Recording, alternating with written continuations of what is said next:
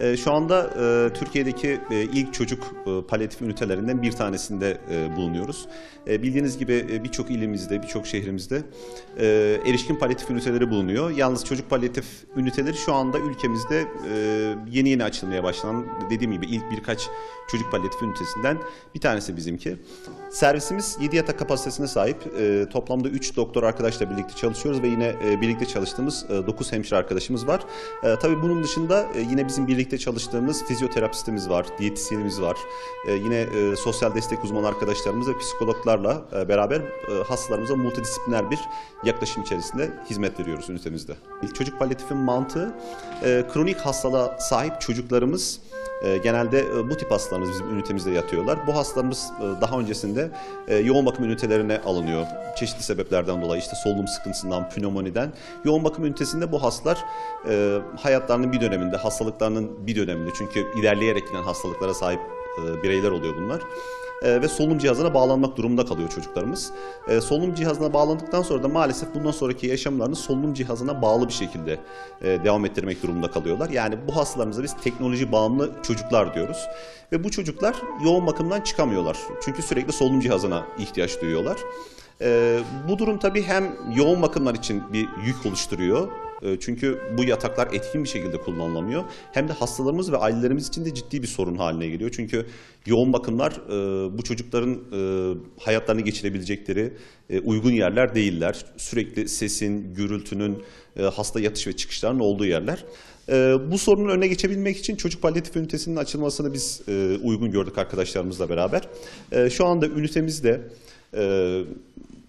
solunum cihazına bağlı, solunum cihazından ayrılamayan e, hastalarımızın daha çok yattığı ve e, bu hastaların e, ev şartlarında annelerinin yanlarında kalabildiği ve eve taburcu olabilmek için eğitimlerinin verildiği bir ünite burası.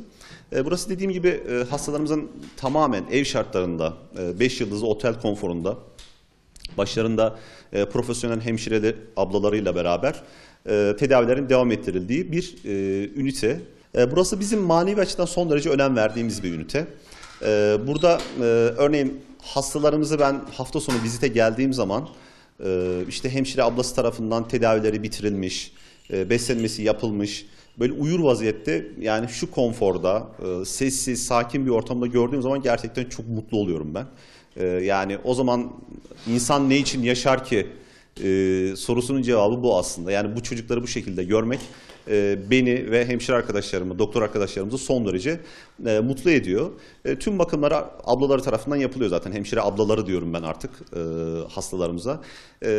Bir de şu var mesela ben örneğin odaya girdiğim zaman bir çocuğumuzu mesela anne babası yanındayken hiçbir tepki vermezken hemşire ablası odaya girdiği zaman çocuğun böyle mutlulukla ona atıldığını görüyorum. Mesela bu beni son derece mutlu ediyor.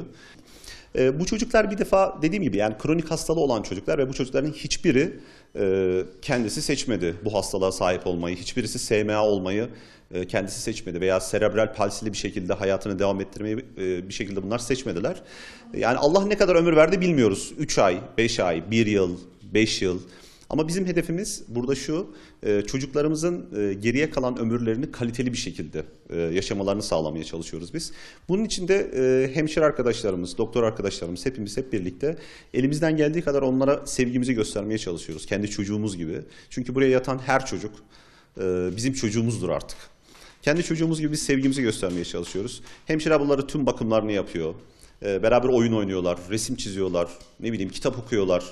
E, Ben e, elimden geldiğince çok e, flüt çalıyorum diyemem. Çok iddialı bir şey olur ama elimden geldiğince onlara e, işte flütle bir şeyler üflemeye çalışıyorum. Bu şekilde onlarla ilgileniyoruz, mutlu etmeye çalışıyoruz çocuklarımızı. Bir defa her çocuğun koşulsuz sevgi hakkı. Yani onun ırkından, dilinden, dininden, hastalığından tüm bunlardan bağımsız bütün çocuklar sevgiyi hak ediyor. Ee, biz de e, burada e, tüm çocuklarımıza o hak ettikleri sevgiyi elimizden geldiği kadar vermeye çalışıyoruz.